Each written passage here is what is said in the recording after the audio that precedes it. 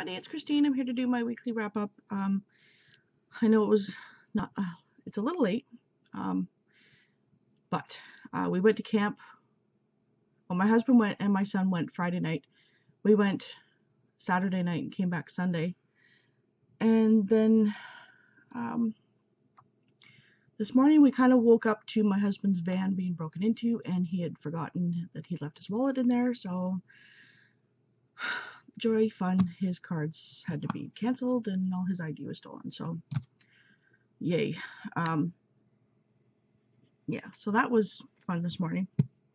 But I do have a book haul because we went to the mall at the dump, or not the mall at the dump, the swap thing at the dump at camp. So I don't know anything about the books that I have to show you, but I'm going to try and get this done quickly.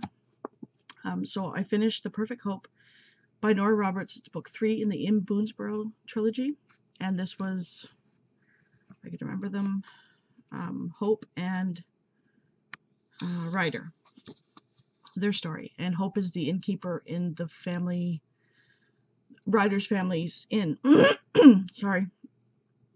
So it was pretty good. It um, and then you find out, like there was a side plot or a side story of ghosts in the end, and they were trying to find a certain person.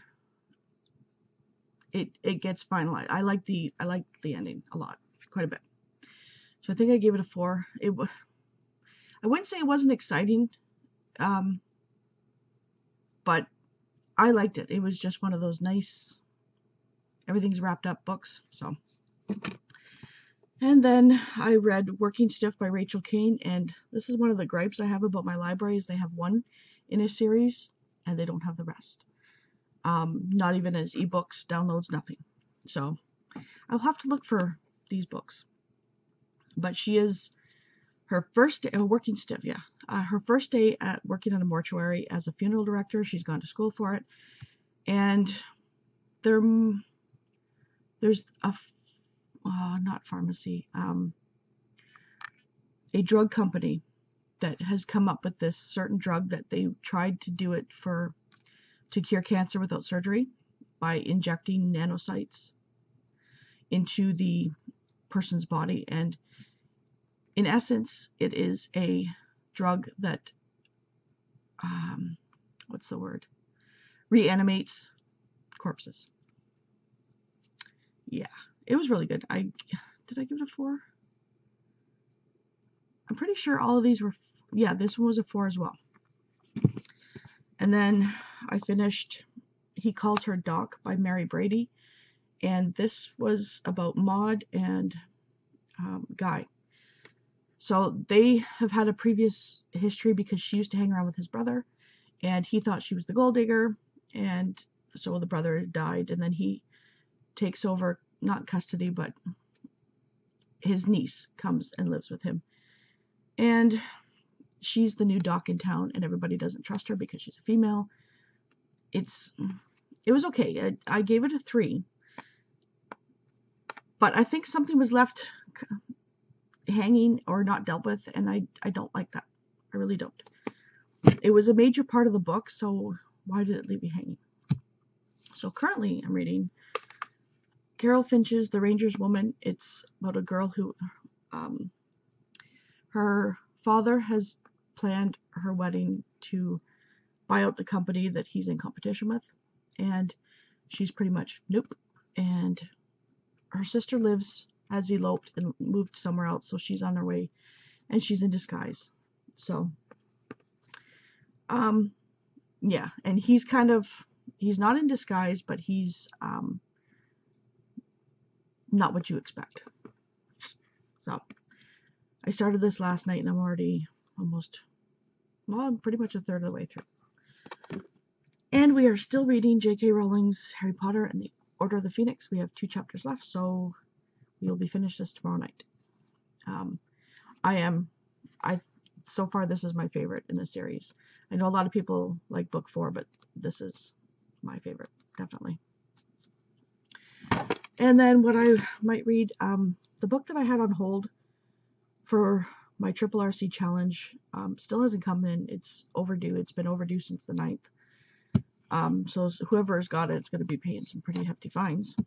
But I will be picking up, or maybe picking up, Curiosity Thrilled the Cat by Sofie Kelly. It's book one in a magical cat's mystery, and it's a cozy mystery. And the last two challenges that I have to do for my Triple RC for this month is read a book with either a cat or a hawk or traveling in the book. Um, having a hard time with some of these challenges. And the other one was to um, a book that shows feet. So um, that was the one that I was going to do with the Mara Dyer book, and I haven't gotten it, so I don't know. I'll have to look through and find something really quick because time is running out. And then I know somebody had asked me if this is for August or September. This is August's book of the month for hashtag on the booktube shelf, and it's Station 11 by Emily St. John Mandel. I still have not been able to pick it up. There's just been so much going on. I sold an outfit. I had to pack that up and send it. So I will get to it. Um, I might just be the beginning of September. The kids go back to school next Tuesday, a week today. So yay. Some quiet time. So my book haul first one I got, um, well, not the first one. I got this yesterday in the mail, and the author had contacted me and asked me if I would like to read his book from an almost local author. He's four hours outside of where I live, which is Sudbury. I don't live in Sudbury. He lives in Sudbury. So he sent it to me, and it's called Interpretation by Dylan Callens. And I'm not quite sure it's if it's dystopian um, but it, it is a little bit different on the inside. Like there's mainly like normal, but then there's also like diary entries and like test stuff. Yeah, like searching extract. You can't really see it, but it's it's kind of different. And a lot of ink blots on every chapter heading. It's a different ink blot. So I will give that a whirl. I still have two other books, three other books that I have to do for review. Um, I need more time. So really quickly, like I said, I don't know much about these authors. I just, or these books, I've just seen them and I figured I'd grab them because I think for all of this, I paid maybe 35 cents for. So let's start. Harry Turtledove, Blood and Iron, American Empire sorry. Um, Stephen Frey forced out. Kathy Reichs um, Deja Dead. I haven't read her yet. Um, I'm hoping to. Once I get more of the series, I think. Um, and my sister-in-law, the one from hell, um, had said, because it's her boyfriend's camp that we go to, um, has said that she had to stop reading hers because she was getting nightmares. So I thought that was really funny.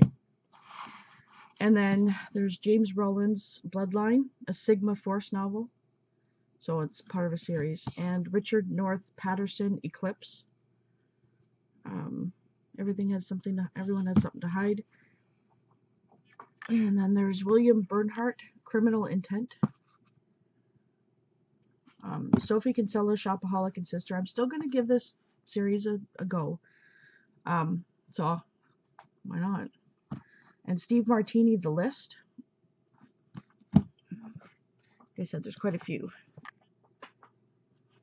And for 35 cents, you know.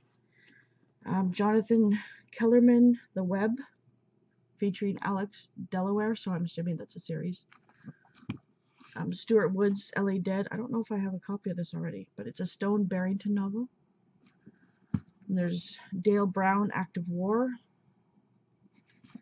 Um, at one book I was giving to her, and I said, I told her it was a really good story, and she put it in my bag. So, but it's Ken Follett's Night Over Water. I really enjoyed this book. I was not what I was expecting, but yeah. So I had given my copy away to a friend of ours, and now I got another copy back and I had asked her if she had ever heard of this author, and she said that he's um, pretty good. Uh, it's like epic, if you can tell by the size of books. I don't know what order they go into, but uh, it's Wilbur Smith, and there's Warlock. Can't really see that. And Birds of Prey. I don't know what the series would be called. I know nothing about it. She just said that she had heard he was very good, so. Uh, ouch. Then there's Christopher Reich, Numbered Account. Um, don't know if it's a series. Katie MacAlister, Noble Destiny. It's a Regency romance. Ah. almost. Sharon Sala, Missing. My mom reads her. And I've got a couple of her books, and I've heard she's really good. Paint It Red by Carla Cassidy. Um, yeah, try to get the light. MC Beaton, Death of a Dentist, a Hamish Macbeth mystery. So I think this is a cozy mystery. I haven't read any of them yet. Um, so last two. This one, I've never read either uh, anything by him, but I've been wanting to, especially this one. Um, Kurt Vonnegut's Slaughterhouse Five. cover. Yeah, so, and Finally, I was surprised to see this because it's in mint condition, but it's Behemoth by Scott Westerfeld, and it's hardback. So that is my book haul. There's about 1, 2, 3, 4, 5, 6, 7, 8, 9, 10, 11, 12, 13, 14, 15, 16, 17, 18, 19, 21 books that I got for about 35 cents. Can't go wrong. So when I'm finished reading them, I either keep them or pass them along. So it's a win-win situation if any of you have read any of these books, I know I still have to get to the comments. Like I said, I just need more time. I have, oh, wow. Anyways, um, uh, anybody who's in Houston, I'm praying for you. Um, I hope you, everybody's all right down there. Um, I've seen some nasty pictures, so yeah. And I think that's it. I will be doing a TBR for September. I have to go to the library probably today um, to get the books from September's Triple RC Challenge. I don't know what we're doing for September for the um, on the ha hashtag on the booktube shelf pick. Um, we haven't really talked. We've all been kind of busy this summer. Um, yeah, so if you have any suggestions that you'd like us to read, let us know. And I will talk to you later. Bye.